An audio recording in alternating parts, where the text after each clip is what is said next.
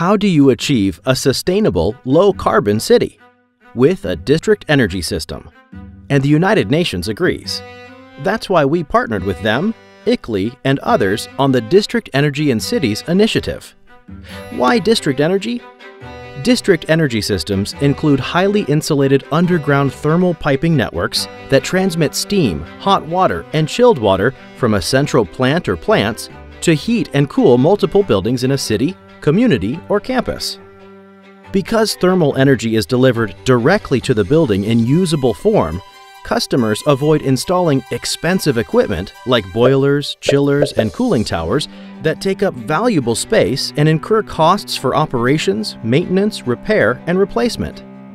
District Energy Service simplifies building operations, allowing customers precise control over heating and cooling, taking only what's needed and provides valuable flexibility to easily adapt as occupant needs change or building efficiency improves. Here's the critical advantage. When a district energy network interconnects multiple buildings, it aggregates diverse heating and cooling profiles, achieving economies of scale that enable deployment of more efficient, resilient local energy resources. This scale enables integration of cleaner options, significantly cutting carbon emissions unachievable on a building-by-building basis.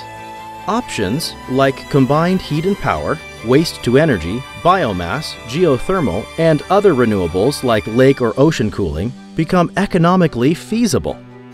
Want to move your city forward but unsure how to start?